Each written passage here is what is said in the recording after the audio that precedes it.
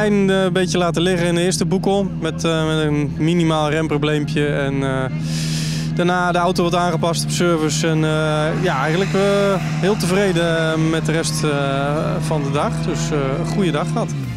En de laatste boekel was nog even spannend tussen jou en Jim?